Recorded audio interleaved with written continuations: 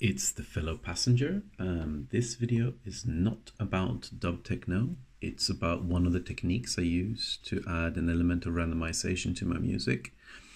If you're just starting out and you don't have Max for Live or you just feel that that is a bit too frightening uh, at this point and that drawing all your automation by hand takes far too much time and it's just not random enough, this video is for you.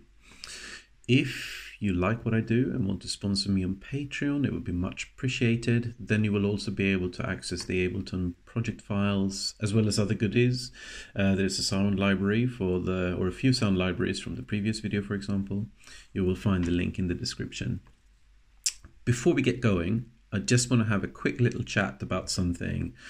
Um, I don't know what your relationship is to dub techno, um, if you have one at all. Um, although this video is not about the genre, um, just want to say that if you search for the term on YouTube, you will just find endless mixes of what I consider elevator music. Um, and I'm not sure who's making all that stuff, clogging up all the airwaves. I encourage you to search for things like Rhythm and Sound, Maurizio, um, Basic Channel, Pole, etc. Um, I will put some links in the YouTube description. So if you're watching this on Instagram, you will be able to find um, a link in my bio, which will take you to my YouTube channel. Let's get going.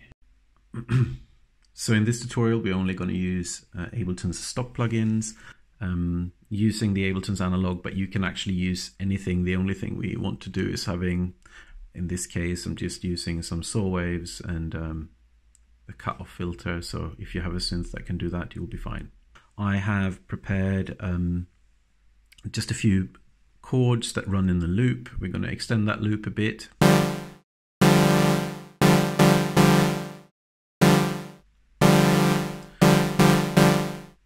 So now in Ableton, you can go into your little loop and then you can add automation in there.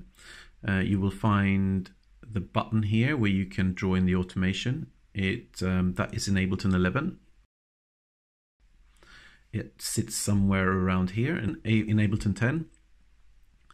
So here we check what we want to automate. So we choose the analog, which is our synthesizer, and then we go in to find the right parameter and we are choosing the filter.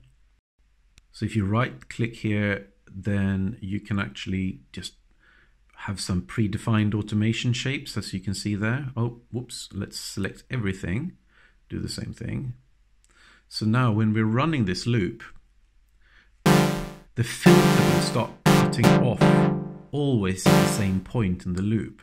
So here is where the trick is to create something that's going to feel a bit more random. That is if we unlink this automation loop with the main loop. So we click there.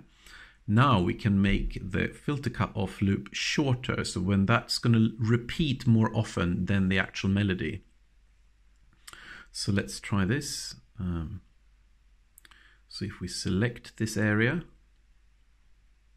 and when we play this back now, it's going to overlap at a different point every time. This loop is perhaps a little bit long, um, so we just make it a bit shorter so we get more variation in the cutoff.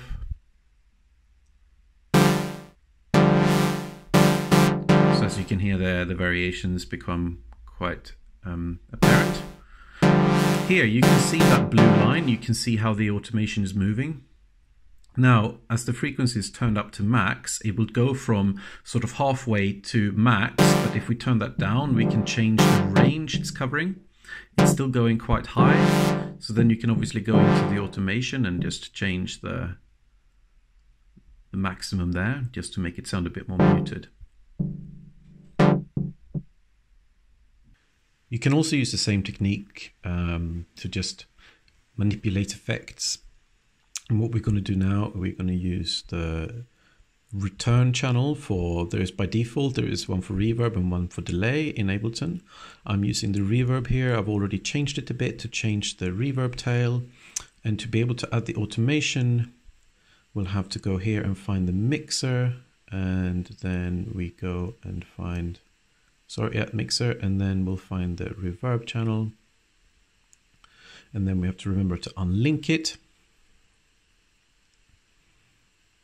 And then we uh, have to remember to actually turn up the volume to max on our channel so we can send all the signal to, to the reverb chain. And then we can go in and add our automation. I'm just to make these little spike here. Maybe I made that a little bit too thin.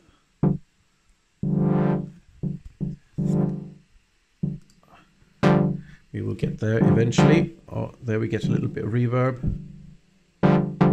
Ah, that's what we're after. So every so often you get the reverb to actually hit and send a lot of it. Uh, well, you get the, the chord sending off to the reverb at the right time. But it's important to remember the length of these um, sequences for effects or for cutoff or whatever, keep them at different lengths and make sure that they are not dividable by the length of the original melody loop. So you just get these get these sort of more random feeling syncopations. And now we can go in and do this on the delay as well. Um, so do the same thing. We have to turn up the volume. We create a new length for the. Uh, I'm just going to choose a default shape, and then you do that at a different length again. So there you go. Then you get a bit of a dub vibe. Change that a bit. So now, as you hear, these the cut off frequency, the delay, and the reverb, they all happen at different times, even though it's the same loop playing over and over again. So this can go on for quite a while. So I encourage you to go and test this technique on using all sorts of other effects. Why I used return channels instead of just putting an effect at the end of the channel where I got the chords was because if I would have done that, I could have, and then added this automation to the dry wet control, you would never get these tails ringing out and the reverb and the delay just keep echoing because as soon as you turn it to dry, you would just cut that off. And that's why you choose these separate channels. And I encourage you to just try this technique using loads of different effects, chain them up in a different way, uh, on a return channel, you don't only need to have a reverb, you can have a reverb and then some bit crusher and then some delay and uh, whatever combination you want. I would love to hear what you're doing using this technique. And uh, if you enjoy this video, please go and sponsor me on Patreon if you can. Uh, you will be, um, if you do, you will be able to download this project file. You will also be able to download the project file for um, the loop that you heard in the beginning if you like that version better. Um, I encourage you to try it out and uh, there will be more videos next week. Thank you very much.